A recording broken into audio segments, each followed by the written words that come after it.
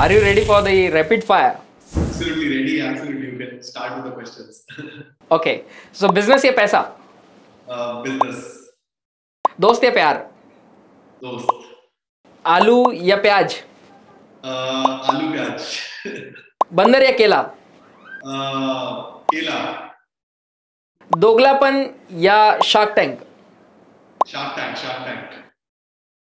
Area of expertise या दोगलापन? Area of expertise.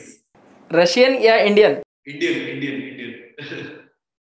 मैं तो फ़ूड की बात कर रहा था आप मैं भी इंडियन फ़ूड की बात कर रहा था